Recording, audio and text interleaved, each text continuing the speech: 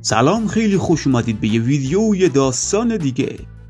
تعطیلات ده روزه آکادمی آغاز شده بود. این تعطیلات طلایی هم به خاطر سالگرد عید پاک کلیسای بزرگ لون وجود داشت. تو این روزها هم دانش آموزان آکادمی یا با همدیگه از پایتخت امپراتوری دیدن می‌کردن و خوش میگذروندند یا هم رو با خانواده هاشون اوقات خوش رو سپری می‌کردند. و عالم تقریبا خیلی از دانش آموزان توی این روز خوش میگذروندند. ولی خب الان ویکر و رفقاش برای کار داوطلبانه وارد کلیسای املاک کوبادایس ها شده بودند. انگاری هم می‌خواستن یه کار داوطلبانه توی این یتیم خونی بزرگ پایتخت امپراتوری انجام بدهند. یادم یایی می‌گفت؟ ویکر جون بایستی ممنون باشه که برای تو از time استراحتمون گذشتی و باهات اومدیم که کار داوطلبانه انجام بدی بگی هم اونور می‌گفت. و حالا منم که کار داوطلبانه رو کلا خیلی دوست دارم. پس مشکلی باش ندارم. ویکر هم می‌گفت. باشه سیدا ازتون ممنونم. تئودورم یهویی میگه؟ جالبه. پس این مکان یتیم خونی بزرگ آندول گانتینی است. حالا اسم عجیب غریبی داره ها. نمی‌دونم تلفظش درست گفتم یا نه. حالا دیگه اگه اشتباه شد به بزرگی خودتون ما رو عفو بفرمایید. در دام تئودور می‌گفت از اونجایی هم که اینجا بزرگترین یتیم خونه کل پایتخته واقعا توی یک لول دیگه از کلا بگی هم یوهی می‌گفت اونجا رو مدیر این یتیم خونه هم انگاری عکسش اونجاست. سانچو هم می‌گفت کو کجا مومنان؟ پیگی هم اشاره می‌کرد به سمتی و می‌گفت اون شخصی که اونجا عکسش نقاشی شده و به دیوار آویزون شده اونو میگم اسمش هم کویلتی ایندرولیس هستش. ایشون هم واقعا خیلی محبوب هستن. حتی توی کلیسای بزرگ لون هم واقعا کلی تاثیر گذارند حالم که صحبت از کلیسای بزرگ لون شد باید بدونید که این یارو کویلتی و قدیسولوریس اصلا با همدیگه کنار نمیان. مخصوصا توی دیدگاه های مذهبی خودشون. و کلا با همدیگه درگیرند. تئودورا می‌گفت عجب والا اصلا دلم نمی‌خواد که بین درگیری این دو نفر گیر کنم. خیلی بد میشه. ویکرم مشکوک شده بود. انگار این یارو کویلتی مدیر خیلی محبوبی توی این یتیم خونه بودش. اونم همچین یتیم خونی بزرگی. کلا یتیم خونه ها رو شیاطین یه جوری مثل منبع بزرگی برای غذا خوردن می‌دیدند پس معمولا به اونجا خیلی نفوذ می‌کردند. و حالم صد درصد ویکر بالاخره مدیر این یتیم خونه رو ملاقات می‌کرد. و آن وقت متوجه می‌شد که واقعا آدم خوبی هست یا نه. در این داستان بعد از رسیدن به جایی که باید می‌رفتن کشیشا به ویکر و دانش آموزان داوطلبی می‌گفتند شما باید برای ده روز آینده از بچه ها مراقبت بکنید و مثل معلم هواشون رو داشته باشید. متوجه شدید؟ اگرم خوب ازشون مراقبت بکنید بچه ها هیچ وقت محبت شماها رو فراموش نمی کنند لطفا با قلب مهربان پدر و مادرها باشون رفتار بکنید باشه؟ ولی خب انگاری پیگی و تئودور و یه رو سانچو به جایی نگاه می‌کردن و تعجبم کرده بودن. انگاری هم بیانکا و اون دختره کل سفید یعنی سینکلر هم اینجا بودند. یهو هم بیانکا داد می‌زد ما داوطلبانه اومدیم اینجا کار کنیم. شما اینجا چه غلطی می‌کنید هان تئودور هم جواب می‌داد من یک قهرمانم. معلومه که هر جایی کار خوب باشه برای انجام دادنش اونجا حاضر میشم. بیانکا می‌گفت چی؟ قهرمان؟ واقعا که خون دون ها رو توی بدنت داری. مردی که یا این دختره کل سفید سنکلر جوری که انگاری به ویکر نگاه می‌کرد می‌گفت حتما کار تقدیر مگه نه؟ که داریم دوباره همدیگر اینجا می‌بینیم ویکر. بعدش هم میاد جلو در حالی که انگاری می‌خواست دست بده بلند می‌گفت حیف که نمیشه بیشتر اینجا صحبت بکنیم. امیدوارم که بتونیم توی این ده روز به همدیگه خیلی خوب کنار بیای ویکرم تعجب کرده بود. ولی خب باش دست میده و می‌گفت منم امیدوارم که کنار بیایم سید جان. سینکلی هم انگاری از اینکه با ویکر دست داده بود توی پوست خودش نمی گنجید. کلا هم انگاری خاطر خواهی ویکر شده بود اونم بدجو یهو هم پیگی یواشکی به ویکر می‌گفت سید بایستی یه قضیه رو بهت بگم. ویکر می‌پرسید چه شده مومن هان؟ پیگی هم می‌گفت والا من این دختر سینکلی رو وقتی توی آکادمی بودیم دیدمش. اون دنبال مسئول دانش آموزان کار داوطلبی افتاده بود. و هی هم ازش می‌پرسید ویکر کجا درخواست کار داوطلبانه داده؟ چون می‌خواست دقیقا همونجا خودش هم درخواست بده. اصلا می‌دونین یعنی چی ویکر؟ ویکر هم تعجب کرده بود. انگار این یارو دنبالش بود. حتی به بهانه تصادفی بودن هم می‌خواست بهش نزدیک بشه و حتی بهش دستم داد. پس ویکر بهش مشکوک میشه. پس می‌خواست بیشتر حواسش بهش جمع باشه. و الان مدیر یتیم خونه الان بین کشیش ها نبود. انگاری هم اینجا کلا نبود فعلا. و حضور نداشت. یوی هم در ادامه داستان بچه ها رو آزاد می‌کنند تا خودشون معلم خودشون رو بین این دانش آموزان انتخاب بکنند. بچه هم بوده بوده می‌رفتند و هر کدوم یکی رو انتخاب می‌کردند. انگار دانش آموزان داوطلبین خیلی خوب داشتن با بچه ها کنار میومدند ولی ویکر چنان جوی درست کرده بود که بچه های بدبخت جرأت نزدیک شدن بهش هم نداشتند. خیلی عجیبم می‌گفت. اسمتون چیه طول آهان یهویی هم بچه ها کلا میترسند و از انتخابش منصرف میشن. همونه هم که رفته بودن سمت ویکر یهویی بودو بودو میرن سمت پیگی. ویکر هم با خودش می‌گفت یادم پوما اصلا با رفتار من مشکلی نداشت. ولی انگاری سر و کله زدن با این بچه ها اصلا ساده نبود. ولی خب یهویی ویکر متوجه یه بچه کله زرد روشنی میشه که در کلیسا رو باز می‌کنه و میره توی حیات انگاری هم بیرون تالار به یکی از ستونهای یتیم خونده تکیه داده بود و خیلی هم توی خودش بود. انگاری هم کلا با همین بچه ها خیلی متفاوت به نظر می رسید و رفتار خیلی متفاوتی هم داشت. یهویی هم در همین لحظه ویکر که انگاری کنارش اومده بود می‌گفت راستشو بخوای منم از جای خلوت خوشم میاد بچه هم یوی جا می‌خوره.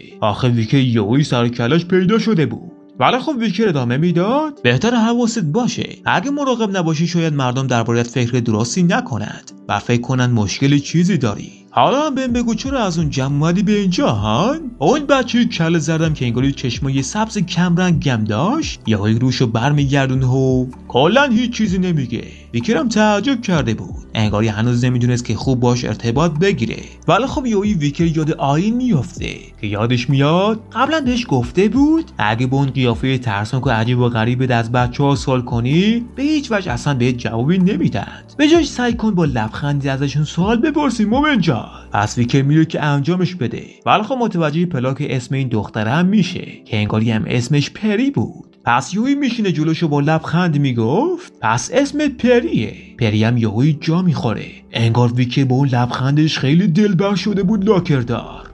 ادامه می‌داد و می‌گفت اسم خیلی قشنگی داری پری. پری تفلگم یهویی قرمز میشه. انگارم چهره ویکر رو خیلی فوقالعاده جذاب می‌دید لاکردار. ولی خب یهویی می‌ذاره و بودو بودو از پیش ویکر میره. ویکرم تعجب می‌کنه. آخه لبخند که زده بود. پس چرا یهویی گذاشت و در رفت. یهویی هم ناگهان سرکله فرد دیگه پیداش میشه. که می‌گفت نگران نباش. فکر نمی کنم ازت بدش اومده باشه. کلا رفتار اون دختر یه مقدار غیر قابل پیش بینیه. انگاری هم این فرد قدیس دولوریس بود و ادامه می‌داد همه چیز رو دیدم. واقعا نمی‌دونستم که همچین شخصیت مهربونی داشته باشی. ویکیرم می‌گفت رئیس دولوریس شما اینجایید قدیس هم ادامه می‌داد قلب پری قبلا صدمه دیده. برای همین نمی‌خواد با هیچ کسی ارتباط بگیره. برای همین است که دچار یک نوع اختلال شده. اختلالی که روی حرف زدن تاثیر می‌ذاره. کلا یه جور بیماریه. ویکیرم می‌پرسید مگه چه بلایی سرش اومده هان؟ قدیس دولوریس هم جواب می‌داد؟ جزئیات دقیقش رو نمی‌دونم. اما پری توی یتیم خونه به دنیا آمده و پدر و مادرش انداختنش بیرون و در رفتن. ای توف توی قبر پدرشو. در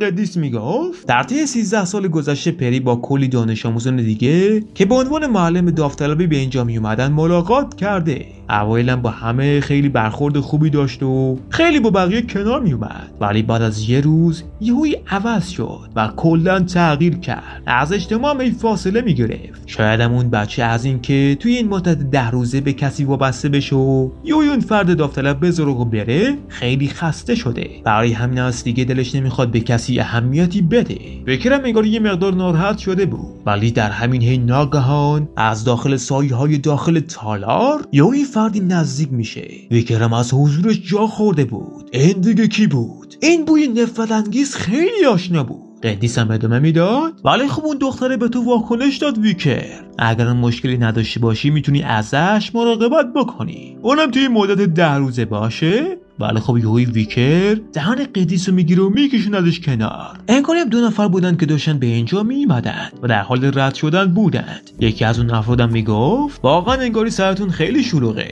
یه مدتی هست که خیلی وقت نمی‌تونیم همدیگر خیلی خوب ببینی این یارو هم که انگاری مدیر یتیم خونه یعنی جناب کشیش کویتی یا همون اهریمنه بودند؟ یهویی می‌گفت اخیرا تعداد افرادی که برای اعتراف کردن به گناهانشون درخواست گفتگوی شخصی میدن خیلی زیاد شده.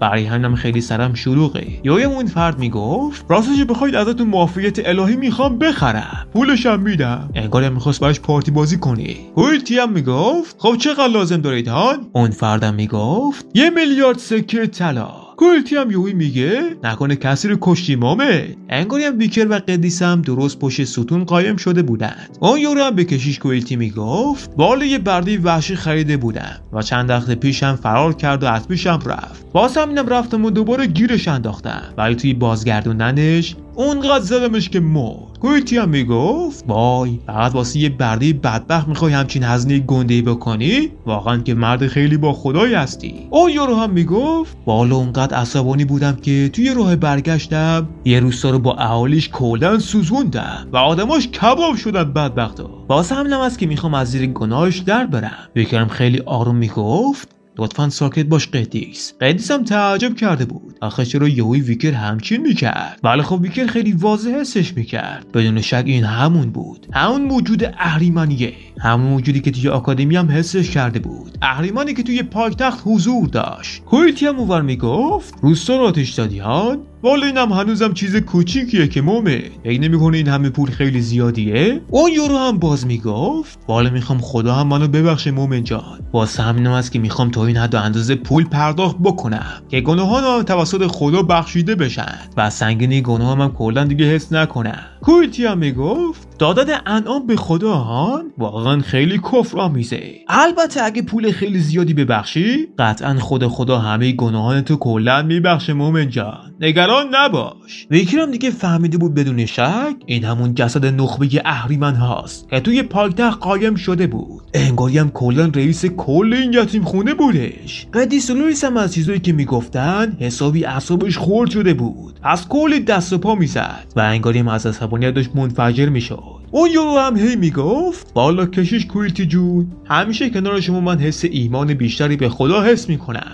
و ایمانم نسبت به خدا خیلی خیلی خیلی بیشتر میشه. واقعا که شما خیلی خوب هستی. کویلتی هم لبخندی می‌زنه و می‌گفت معلومه. شما در حق من لطف دارید. به یادم داشته باشید تا وقتی که پول داشته باشید خدا همیشه شما رو میبخشه. و جفتون همیشه بهشته پس هر دلتون می‌خواد بکنید. قدیس هم دیگه داشت از عصبانیت منفجر می‌شد. ایم تکون می‌خورد و خیلی جول و پول می‌کرد. بیکرم با خودش می‌گفت لعنتی نباید تکون بخوره وگرنه لو میری. ولی قدیس به زور داد می‌زد ولم کن ولم کن بیا برم جرشون بدم. اما ناگان در همین لحظه اون یورو زیر دستی اهریمنی که تغییر شکلن داده بود میاد بالای سرشون و خیلی سرد و ترسناک خیره شده بود به جفتشون.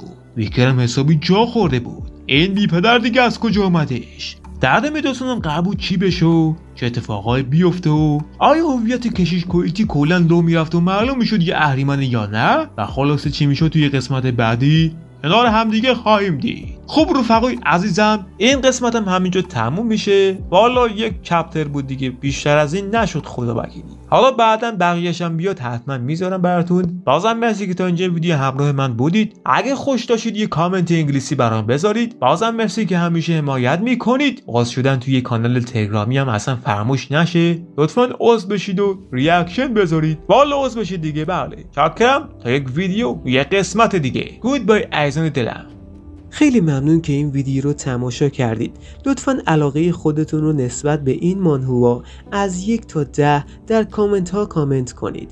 ممنونم. خدا نگهدار.